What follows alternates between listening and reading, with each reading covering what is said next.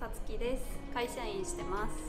今から坊主に変身してきます、えー、坊主にする理由は誕生日を迎えて前からしてみたかったのでちょっと挑戦してみようかなと思いました。これだけ短くするのは10年ぶりぐらいでちょっと緊張してます。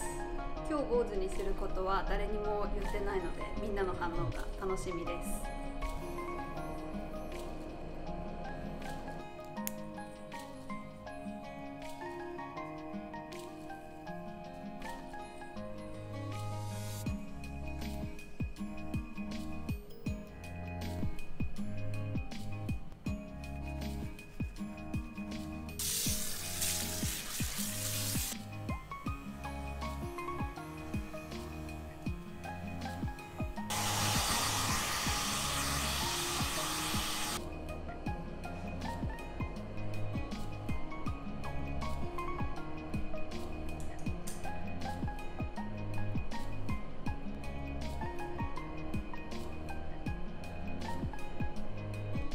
髪の毛坊主にしました。